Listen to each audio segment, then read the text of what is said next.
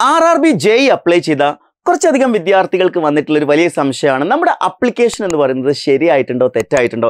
Railway accept ചെയ്തിട്ടുണ്ടോ? നമ്മുടെ photos accepted ആണോ? നമ്മുടെ സിഗ്നേച്ചർ അക്സെപ്റ്റഡ് ആണോ? അല്ലെങ്കിൽ എന്തെങ്കിലും മിസ്റ്റേക്ക് സംഭവിച്ച് നമ്മുടെ അപ്ലിക്കേഷൻ റിജക്റ്റ് ആയി പോയിട്ടുണ്ടോ? ഈ സംശയം വെച്ച് പഠിക്കുന്ന കുറച്ചെങ്കിലും ഉദ്യോഗാർത്ഥികൾ നമുക്കിടയിലുണ്ട്. അതായത് ഒരുപാട് ടെൻഷനൊക്കെ ഉള്ള ആളുകളായിരിക്കും ഇത്തരം ആളുകൾ എന്ന് പറയുന്നത്. എന്നാൽ നിങ്ങൾ ഇങ്ങനെ ടെൻഷൻ ഒന്നും അടിച്ച് പഠിക്കേണ്ട കാര്യമൊന്നുമില്ല. കൃത്യമായിട്ട് റെയിൽവേ എന്ത് ചെയ്തിരിക്കുകയാണ്?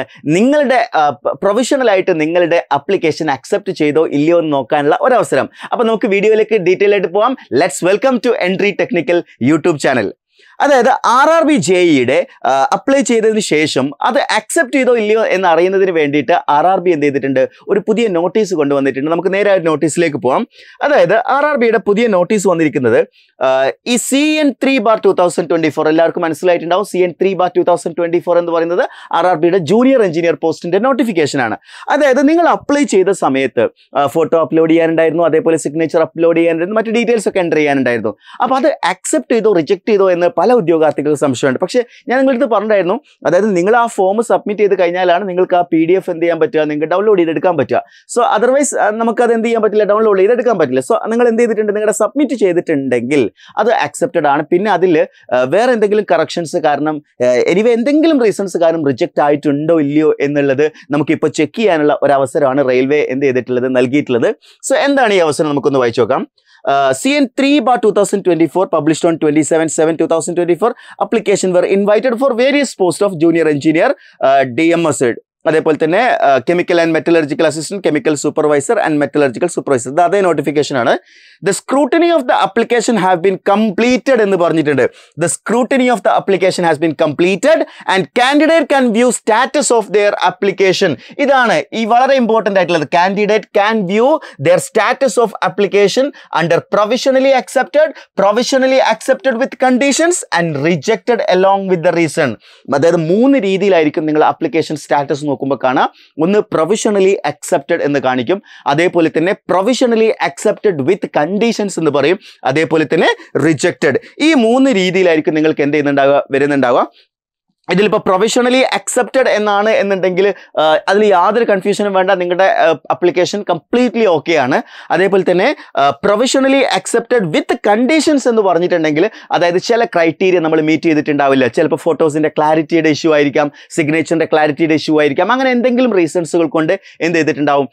അവർ തൽക്കാലം ഹോൾഡ് ചെയ്ത് വെച്ചിട്ടുണ്ടാവും. അതാണ് പ്രൊഫഷണലി അക്സെപ്റ്റഡ് വിത്ത് കണ്ടീഷൻ എന്ന് പറയുന്ന കേസസിൽ വരാൻ സാധ്യതയുള്ളത്. ഞാൻ ഈ പറഞ്ഞത് കൂടാതെയും കേസസ് വരാം. അതിനെക്കുറിച്ച് നമുക്ക് ഡീറ്റെയിൽ ആയിട്ട് നോക്കേണ്ടതായിട്ടുണ്ട് എന്താണ് അത്? ഈ ഒരു ലിങ്ക് ഓപ്പൺ ആയതിനു ശേഷം അതിനെക്കുറിച്ച് നമുക്ക് കൂടുതൽ ഡീറ്റെയിൽ ആയിട്ട് നോക്കാം.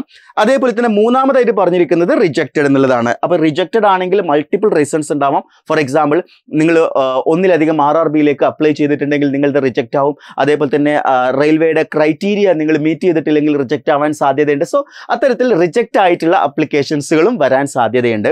സോ ഡെഫിനറ്റ്ലി നിങ്ങൾ എന്ത് ചെയ്യുക? ഈ ഒരു ലിങ്ക് ഓപ്പൺ ആകുന്ന സമയത്ത്. ഈ ലിങ്ക് ഓപ്പൺ ആകുന്നത് കൃത്യമായിട്ട് പറയുകയാണെങ്കിൽ ഇരുപത്തി മൂന്ന് പത്ത് രണ്ടായിരത്തി ഇരുപത്തി നാല് ഇരുപത്തി മൂന്ന് ഒക്ടോബർ ഇരുപത്തി മൂന്ന് മുതലായിരിക്കും ഈ ലിങ്ക് ആക്റ്റീവ് ആവുക. R W W dot R R B apply dot G V dot in എന്ന് പറയുന്ന ഈ വെബ്സൈറ്റിലൂടെയാണ് നിങ്ങൾ നിങ്ങളുടെ അപ്ലിക്കേഷൻ നമ്പറും നിങ്ങളുടെ പാസ്വേഡും ഒക്കെ കൊടുത്തിട്ട് നിങ്ങൾ ലോഗിൻ ചെയ്യേണ്ടത്. സോ ആ ലോഗിനിൽ കൃത്യമായിട്ട് നിങ്ങൾക്ക് മനസ്സിലാവും ഈ മൂന്ന് കണ്ടീഷൻസ് ഏതാണ്. പ്രൊഫഷണലി അക്സെപ്റ്റഡ് ആണെങ്കിൽ ഒന്നും നോക്കാനില്ല. പെർഫെക്റ്റ്ലി ഓക്കെ ആണ്. ഈ ബാക്കിയുള്ള രണ്ട് കണ്ടീഷൻസ് ആണെങ്കിൽ ഡെഫിനറ്റ്ലി നീഡ് ഫർദർ കമ്മ്യൂണിക്കേഷൻസ് എന്നുള്ളത് തന്നെയാണ്. So regarding the application status and S M S and email will be send to the candidates registered mobile number അതായത് ഈ അപ്ലിക്കേഷൻ സ്റ്റാറ്റസുമായി ബന്ധപ്പെട്ട് നിങ്ങൾക്ക് നിങ്ങളുടെ രജിസ്ട്രേഡ് മൊബൈൽ നമ്പറിലേക്ക് മെസ്സേജസ് വരാൻ സാധ്യതയുണ്ട്. Email I D mentioned in the application email I ഡിയിലേക്കും വരും. അപ്പോൾ ഇതിൽ നിങ്ങൾ എന്ത് ചെയ്യുക നിങ്ങളുടെ ഫോണിൽ മെസ്സേജസ് വന്നിട്ടുണ്ടോ എന്ന് ചെക്ക് ചെയ്യുക അതായത് your message your application has been professionally accepted എന്ന് പറഞ്ഞിട്ടുള്ള മെസ്സേജസ് വരാൻ സാധ്യതയുണ്ട്.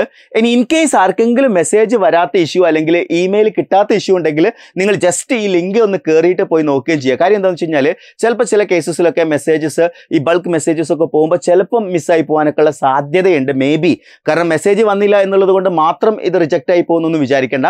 നിങ്ങൾ തീർച്ചയായിട്ടും നിങ്ങൾ എന്ത് ചെയ്യുക ഈ ഒരു ലിങ്കിൽ നിങ്ങൾ കയറിയിട്ട് ഓക്കെ ആണോ നോക്കുക. മെസ്സേജസ് വന്നിട്ടുണ്ടെങ്കിൽ നിങ്ങളൊന്ന് താഴെ കമന്റ് ചെയ്യുക ആർക്കെങ്കിലും ഇതിനോടകം മെസ്സേജ് വന്നിട്ടുണ്ടെങ്കിൽ ഒന്ന് താഴെ എന്ത് ചെയ്യുക വീഡിയോന് താഴെ നിങ്ങളൊന്ന് കമന്റ് ചെയ്യുകയും ചെയ്യാം. ഓക്കെ സോ ഇതാണ് ഇപ്പോൾ വന്നിരിക്കുന്ന പ്രധാനപ്പെട്ട ഒരു നോട്ടീസ് എന്ന് പറയുന്നത്.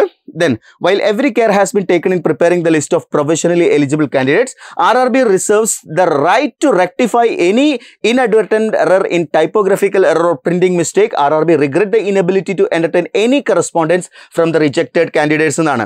ഓക്കെ ആർ ആർ ബി പറയുന്ന കാര്യം എന്ന് വെച്ച് കഴിഞ്ഞാൽ അവർ ഏതെങ്കിലും തരത്തിൽ റിജക്ട് ചെയ്തിട്ടുണ്ടെങ്കിൽ പല ടൈപ്പോ ടൈപ്പോഗ്രാഫിക്കൽ എററോ പ്രിന്റിംഗ് മിസ്റ്റേക്കോ ഒക്കെ കാരണം ഉണ്ടാവാനുള്ള സാധ്യത ഉണ്ട് അങ്ങനെയാണെങ്കിൽ അവരിത് റെക്ടിഫൈ ചെയ്യും എന്ന് കൂടി എന്ത് ചെയ്തിട്ടുണ്ട്? അവർ പറഞ്ഞിട്ടുണ്ട്. അതേപോലെ തന്നെ ഇങ്ങനൊരു പോയിന്റ് ഉണ്ട്. R R B regret inability to entertain any correspondence from rejected candidates എന്ന ഒരു പോയിന്റ് കൂടി അവർ എന്ത് ചെയ്തിട്ടുണ്ട്? ഇതിൽ ആഡ് ചെയ്തിട്ടുണ്ട്. റിജക്റ്റ് ആവാനൊക്കെയുള്ള സാധ്യത റയർലി റയർ ആയിട്ടുള്ള സാധ്യതയാണ്. മോസ്റ്റ്ലി അത് എന്ത് ചെയ്യാനാണ് സാധ്യത ഉള്ളത്? അത് അക്സെപ്റ്റ് ചെയ്യാനാണ്. പിന്നെ നിങ്ങൾ കൊടുത്ത ഡീറ്റെയിൽസിൽ ഒരു എന്താ പറയുക ഒരു ഡോട്ടിന്റെ വ്യത്യാസം സ്പേസിന്റെ വ്യത്യാസം അല്ലെങ്കിൽ ചെറിയ സ്പെല്ലിംഗ് മിസ്റ്റേക്സുകൾ ഇതുകൊണ്ടൊന്നും ഒരിക്കലും റിജക്റ്റ് ആവില്ല കേട്ടോ ഇതൊക്കെ എപ്പോഴാണ് കൂടുതലായിട്ട് സ്ക്രൂട്ടിനി ചെയ്യാന്ന് വെച്ച് കഴിഞ്ഞാൽ it at the time of document verification ആണ്. പിന്നെ ഡോക്യുമെന്റ് വെരിഫിക്കേഷൻ ടൈമിൽ നമ്മളെ റിജക്റ്റ് ചെയ്യാൻ വേണ്ടി ഇരിക്കുന്ന ആളുകളായിരിക്കില്ല കേട്ടോ അവിടെ ഉള്ളത്.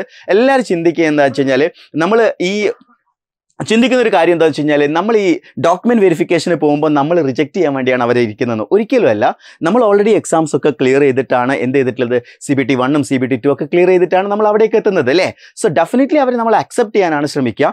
ഏതെങ്കിലും തരത്തിൽ നിങ്ങൾക്ക് ഏതെങ്കിലും ഡീറ്റെയിൽസ് അല്ലെങ്കിൽ ഏതെങ്കിലും സർട്ടിഫിക്കറ്റ് പ്രൊവൈഡ് ചെയ്യാൻ കഴിഞ്ഞില്ലെങ്കിൽ പോലും അവരൊരു നിശ്ചിത സമയം നിങ്ങൾക്ക് അനുവദിക്കും.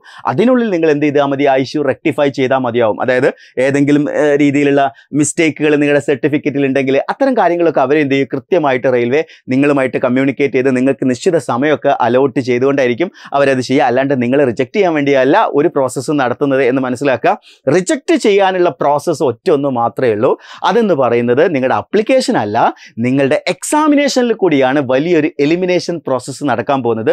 ഒരുപാട് ആളുകൾ എഴുതുന്ന എക്സാമാണ് ഒരുപാട് കോമ്പറ്റീഷൻ വരാൻ സാധ്യതയുള്ള എക്സാമാണ് ഒരുപാട് അവസരങ്ങളുള്ള എക്സാമുമാണ് സോ ഈ അവസരങ്ങൾ പരമാവധി ഉപയോഗപ്പെടുത്തുക. ഇനിയുള്ള ദിവസം കൃത്യമായ പ്ലാനിങ്ങോടുകൂടി പഠിക്കുകയാണെങ്കിൽ ഡെഫിനറ്റ്ലി ഇനിയും വലിയ വിജയങ്ങൾ നിങ്ങളെ കാത്തിരിക്കുന്നു that's all for today thank you for listening have a nice day